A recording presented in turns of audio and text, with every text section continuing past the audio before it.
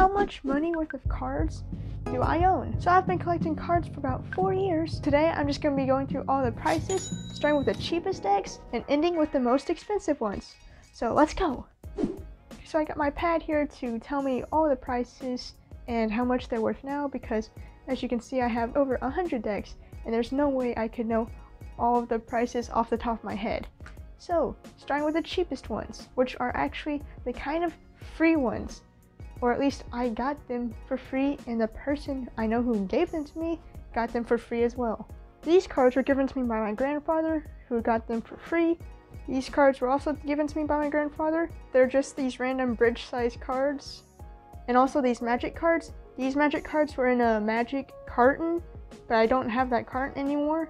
And these I got from school. Comes with some other magic cards, both bridge size, don't handle great. I found these Dexter Axel cards. The Science Bowl cards I got from participating in the Science Bowl at my school. And these Aristocrat Casino cards for free because they are hole punched and the box is completely torn up. And finally, these cards I got from my grandfather as well. They've got cut corners, so they're at least on the cheap side. I don't exactly know if they were free, but they were also from Las Vegas, as well as these, which have cut corners on a single corner. Now moving on to the cards with a whopping $1 price point, we have the Cartamundi Classic cards, which is one of the first decks I've ever bought. I actually dropped them in the ocean. They're kind of ruined now. The Maverick cards and Monte Carlo cards are also $1, which is a very fitting price because they are some of the worst cards I've ever handled. I just found these at my house. The McDonald's face card fun cards. I would put these at like a dollar because technically you still have to buy a Happy Meal to get these cards, but also not very good cards, just bridge size but I actually made my second video on YouTube with these cards. Next up, we also have the Ace Authentic cards by Cartamundi. I bought these with the classic cards, but these were $2.50 at the dollar store. Other decks worth $2.50 are of course bicycle cards, red or blue, but these, the box is special because I got it signed by Lance Burton at a magic show that I went to, which I thought was pretty cool. But pretty much all bicycle decks are roughly $2.50. So I have both red and blue bicycle decks, six of them, but I also have these pinochle cards, which cost me 150 And I also have three more red rider riderback bicycle cards, which in total cost me about $18, so $6 each, because that was a special bundle of a Svengali deck an invisible deck, and just a standard red riderback deck. That's why it costs a little more. And I also have these blue seal bicycle cards. Not sure how much these cost because they're a lot older, but we'll just count them in that's the same price because I'm not really sure. And then all the Tally Ho cards, I would price at about 275 I'm pretty sure I bought a 12 pack of these, and that cost me about $33. Next are the Aviator cards. These are about $3. I bought a red deck, but that deck is literally resting in pieces. And I also have this blue deck that I found my grandparents' house. This was actually my first deck of cards. And also someone generously gave me these more brand playing cards. These are about one to two dollars. So now moving away from standard cards, we have more custom bicycle cards. These bicycle vintage cards are about five dollars and the Stargazer are about 550. I bought both of these cards solely to give them away, so that's why they're still sealed. And this bicycle web deck I randomly found at Walmart for about $5, and I found these bicycle amplified cards for about $6.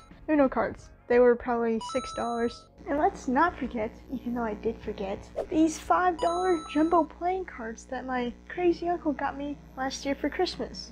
I can't play cards with these, or do magic trick, or do cardistry, but they sure do look pretty funny in my tiny little hands.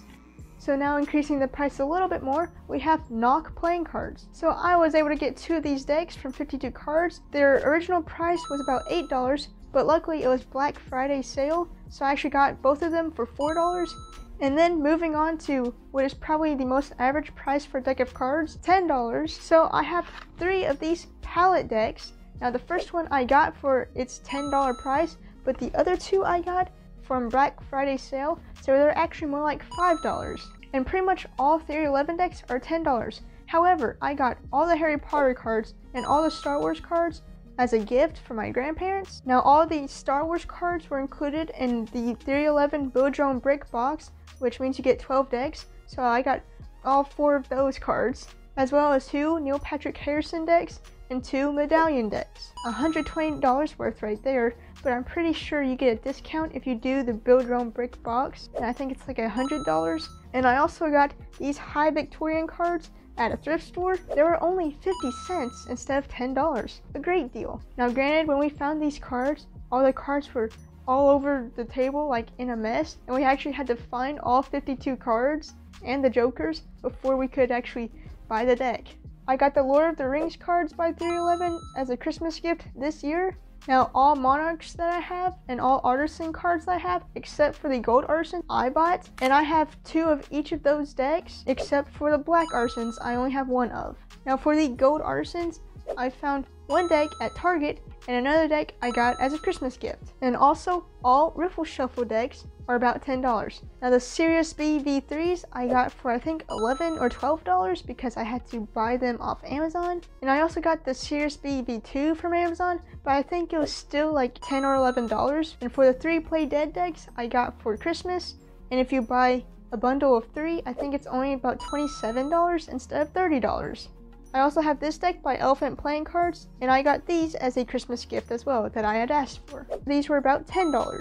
Now also about $10 are these waterproof Aces High clear plastic cards, and they're my only plastic deck. Now what's funny is one time I was taking a profile picture on the snow because I'm weird like that, and at first I used paper cards because I forgot someone had given me these plastic cards for Christmas, so I actually ruined a deck of tally hoes. Well, actually the deck was already ruined, but I ruined it even further by not using the plastic waterproof cards. Increasing the price a little bit more, we have the Z deck by December Boys. I got these for $11. However, I think they're actually worth about $15. This is a really nice box, and you get four green screen cards. I also have the Fellowship of the Ring cards by King's Wild Project. These are about $12. I have two decks of red wheels that I bought from Amazon, pretty sure for $12 each. And I have the Sears Latest, which is worth about $12. But I also got this from 52 cards on Black Friday, so they were about $10 when I bought them. If you want good card deals, 52 cards has them. Also about $12 are these Ghostbuster cards. Now I got these as just a random gift from my dad, who of course knows I like cards and thought they would be a good addition to my collection. However, one day I was planning to film a video of these and I put them down on a wet spot, but I didn't know it was wet and it just rained before. So now they're kind of water damaged on the edges, but still quite usable. Also about $12 are the cards in this little deck carrier, white and red striped cards. They're kind of thick and cardboardy, but they can still fan and their handling isn't terrible. And of course they come in this little nice card case. I was gonna make a video on this, but it just never happened. Now, I'm not sure if the Fournier playing cards are worth $12 still, because I think it's an older deck by Lee Asher, but that's the only price I could find. Now I actually got these from a Cardvolution 11 deck giveaway, and I'll talk more about that here in a bit when I go over some other cards. Now these cards don't handle too well in my opinion, still of course usable. Now increasing the price from $12 to $12.50, we have Rise playing cards. Now I only bought one Rise Magic deck at the price of $12.50. But because they took a very long time to ship, I think Chandler felt bad, and to compensate for that, he actually sent two more decks of Rise playing cards V2. So that was very nice. So now I have three decks of Rise playing cards V2. And when I bought Rise V2, I bought one deck of Rise V1, which was on sale at the time, so it was actually $8. But I also got two extra one of those for free. However, around the same time that Rise playing cards were shipping, I also bought three more decks from SoCal playing cards because they're on sale for $6. And so all that left me with six decks of Rise V1 and three decks of Rise V2. Next, I got these metallic B cards, which are actually shiny, and I got two of these. I believe these are about $13 each, but that's a really cool kind of foiling. These were also a Christmas gift, and these are Illusionist cohort playing cards, now these were donated to a thrift shop that my grandfather worked at, but they didn't want them, so my grandfather took them and gave them to me. And these cards are actually used, but they still handle very well. And I also like the marking system on these cards. It's also my first Illusionist deck. But anyway, the price of these is about $13 after doing a Google search. And finally, also $13 are these bicycle the Fae cards, which I was not expecting because it's the bicycle deck. I got two of these this year for Christmas. Next up are these Eye Catcher Velvet playing cards. Now, these cost me about $15 on Amazon, and I bought two of them. I've made some videos with these cards. I really like them. Be sure to watch those videos if you haven't already. Also, $15 are the Mint playing cards. These are the Cucumber edition. I actually won these from a Mint giveaway on Instagram. Of course, I made a video on them, so be sure to check that out. And I also have Orbit V8 that I got as a Christmas gift last year. These are about $15. I also got these Axolotl playing cards, or Xolotl playing cards. They're worth $18, but I got them on sale for $14, and I got two of them, one for me and one for a friend. Moving on to the really hype cards, so starting with Fontaine, I have two holographic decks. Now one of them I got at pre-order for about $15, but this one, um, you might be able to tell that the box is crushed, but I got this for $10 because the crushed box from X-Decks.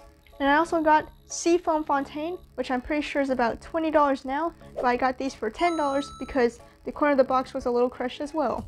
Now these Anyone decks are a little bit more expensive now, but both of these I got for 20 and $21 from SoCal.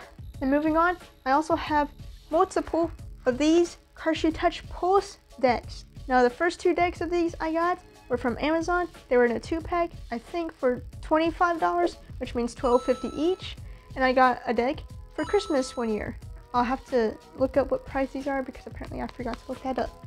If I were to take a guess, these might be 30 to $40. And I also got two Cardstream Touch Derived collection decks. The first Cardstream Touch Derived deck I got was the Honey, which was about $15.